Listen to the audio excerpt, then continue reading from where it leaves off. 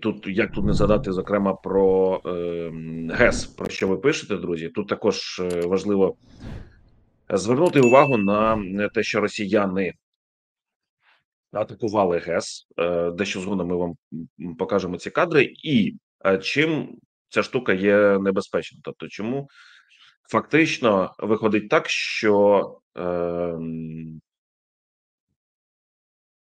що ми потрапляємо у небезпеку з е, ГЕС, тому що росіяни, по-перше, вже не вперше е, їх атакують.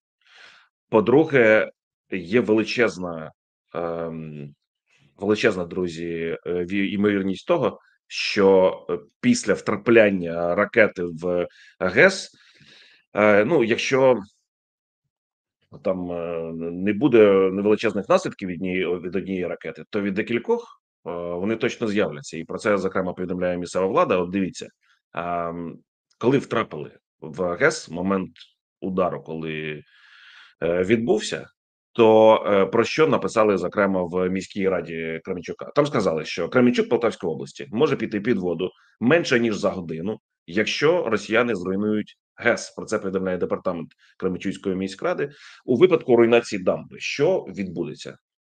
Час підходу високої води до Кременчука від 30 до 45 хвилин. Локація надзвичайної ситуації може тривати орієнтовно 7-10 днів. До зони затоплення можуть потрапити центральна і правобережна частини міста, а також населені пункти е, поряд. Тобто, фактично за 30-45 хвилин може затопити місто, прилеглі села, якщо це відбудеться. Росіяни дійсно вдарили по КС щонайменше декілька разів ракетами. Я не знаю, чому надкритичну інфраструктуру ми поки що не в стані захистити. Ну оскільки ці ракети прилітають, постає питання, що ми робимо для того, аби їх захистити. Ми питаємо удари по Київській ГЕС, які для початку приховувались. Ми розуміємо, чому е, не потрібно знати про це ні цивільним, е, ні журналістам. Не потрібно про це розповідати тоді, в момент прильоту. Але згодом цю інформацію можна прилюднити.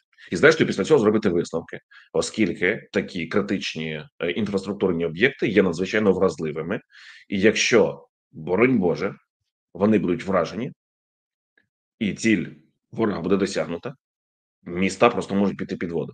Ну, Кременчук може просто перетворитися на Венецію, вибачте, будь ласка. Росіяни самі опублікували фото вибуху влучання верніше в Кременчуцьку ГЕС. Е, офіційного підтвердження ще не було, але такі відоси з'явилися.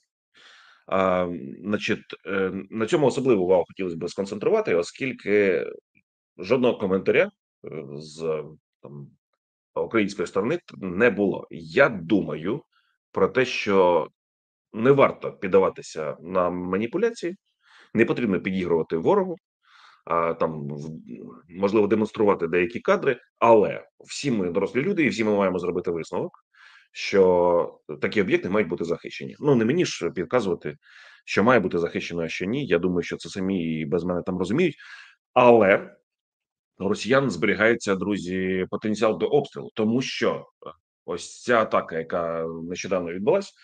Вона мала певні наслідки, і вони вже є відчутними. Тобто, вимагають світло в будинках, зникає електроенергія, доведеться економити. Ми там припинили експорт електроенергії, тому що потрібно забезпечити свої власні е, потужності, домогосподарства і критичні об'єкти інфраструктури, і так далі. Але це ж не все ще, тому що три місяці обстрілів не було. Е, росіяни весь цей час накопичували ракети, і от про що повідомляється: про те, що потенціал Росії щодо обстрілів такий: Росія накопичила близько 300 крилатих ракет Х-101.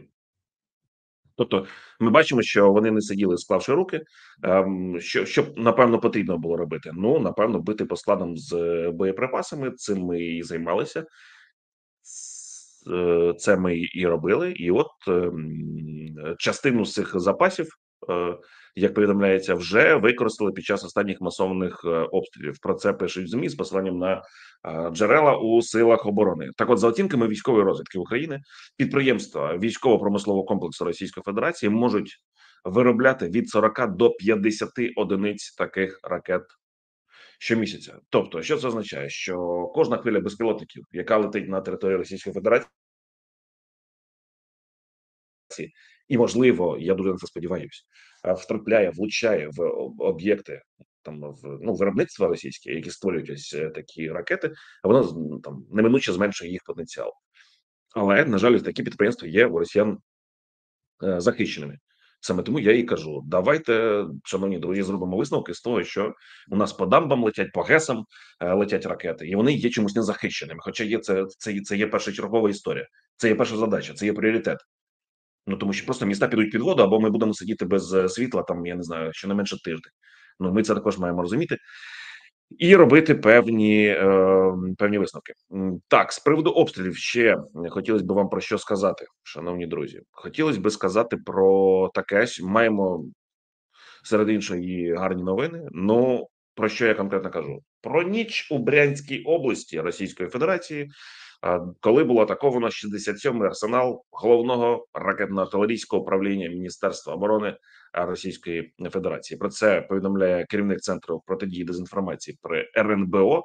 Пан Андрій Коваленко, і от про що він пише? Він пише про те, що там зберігалися артилерійські боєприпаси, включаючи північно-корейські е, снаряди до їх ось цих систем. Окрім цього, там е, присутні керовані авіаційні бомби, Е, зенітні ракети, боєприпаси до ракетних систем е, залпового вогню. Це свіженька новина. Сьогодні вночі буквально нам вдалося вилучити от такий е, арсенал головного управління артилерійського управління Міністерства оборони Російської Федерації. Ми чекаємо на інформаційну, вибачте, на офіційну.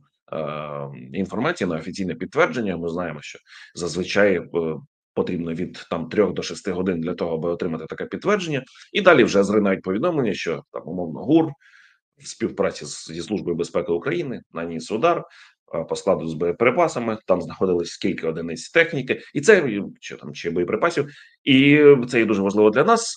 Про що це свідчить? Про методичне винесення ось таких от е, об'єктів на території ворога. Це говорить про те, що у нас є потенціал і тенденція до е, ліквідації складів з боєприпасами. Вона зберігається. А це важливо, оскільки неминуче впливає на військовий потенціал е, Росії і ті люди, які спілкуються з нашими військовими, вони це можуть підтвердити, тому що самі хлопці говорять про те, що ви нас рятуєте таким чином. Динаміка обстрілів змінюється абсолютно. Ну, коли ми говоримо про фронт або про ті самі там е, тилові міста, наприклад, все одно так чи інакше воно впливає. Ну і про що в цьому зв'язку також хотілося б ще сказати: про те, що е, президент не так давно в інтерв'ю українському радіо Е, дещо заспокоїв так напередодні обстрілу великомасштабного обстрілу України. Він про що сказав? Він сказав про те, що ну зараз так чи інакше, у нас е, система захисту вона дещо поліпшилась, і це от е, дало, наприклад, там надію, сподівання на те, що е, західні партнери прокинулися і забезпечили нас, якщо там не у 100% співвідношенні, то принаймні близькому до цього захист українського неба. Було випущено 210 е, ракет і дронів, і збито 144. Як це класний це результат, не класний оцінюйте самі, але якщо є влучання, є наслідки, а вони є, друзі, тому що світла немає тоді потрібно думати, як ще краще поліпшити цю систему. Напевно, не все зроблено. Хоча дуже багато хто, е, наприклад, говорить про те, що F-ки наші F-16 е, відпрацювали просто блискуче. Вони збили 10 ракет. Я не знаю, добре це чи погано, скільки було задіяно авіаційної техніки з нашої сторони. Але ну напевно це класно, коли збито 10 ракет. Взагалі, навіть якщо там одна ракета збита, це також дуже класно. Друзі, будь ласка, підпишіться на цей канал. Не забувайте задавати запитання і Напишіть, будь ласка, що вам хотілося б обговорити серед тем, які ну, от ми визначаємо там е, е, актуальними, важливими на ранок сьогоднішній. Що вам хотілося б це почути? Будь ласка, напишіть. Нам дуже цікава ваша думка.